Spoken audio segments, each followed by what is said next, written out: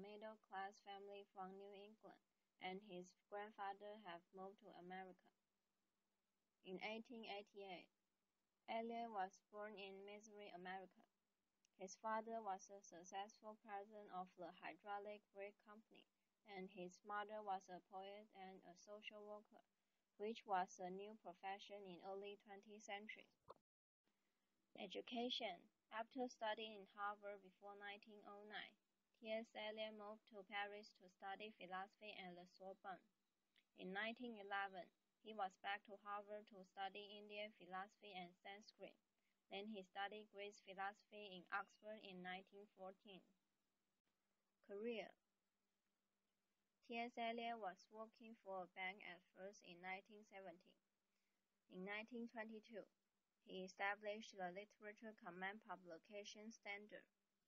Then he started teaching at Oxford. In 1952, Eliot was a curator in library. Marriage In 1915, Eliot married Vivienne Haigh-Wood. She concealed her mental disease to Eliot and his family, so Vivian was being sent to a mental hospital in 1938, and she died in 1947. In 1956, Eliot married with Valerie Fletcher.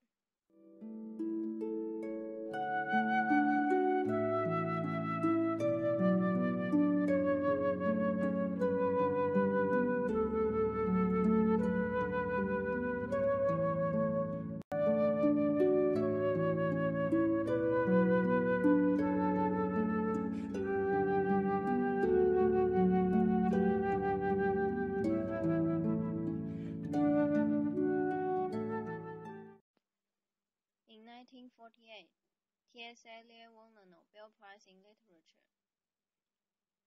In 1965, he died of emphysema in Kensington in London.